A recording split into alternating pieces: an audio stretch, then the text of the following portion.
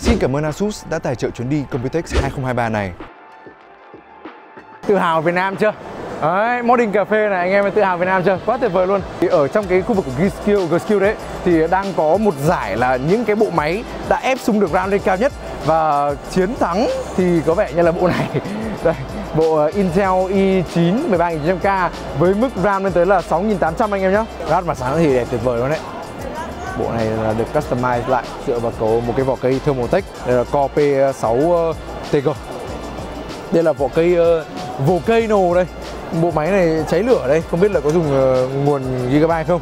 Theo như mình thấy đây là làm bằng foam, foam xây dựng anh em ạ, cái foam xây dựng ấy thì họ sẽ xịt hết ở đây và những cái phần này họ sẽ đục led qua và tạo ra những cái đường này để tạo ra như cảm giác như là cái dung nham đang chảy xuống. Foam này sờ giống foam xây dựng lắm. Bên cạnh đây thì sẽ có một bộ máy Aqua tức là kết hợp của Aslock này, uh, Singularity Commute, ui Singularity không nói làm gì rồi và Beat Power và Seasonic nữa. Uh, bên này thì chúng ta sẽ có một chiếc máy, chiếc máy này thì có cái màn hình bên trong, nhìn phát là hiểu luôn đây, đẹp nhỉ.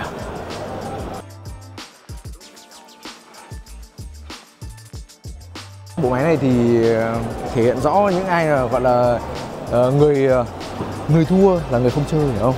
Beer? Yeah, beer. Can I have one? Yeah. sure.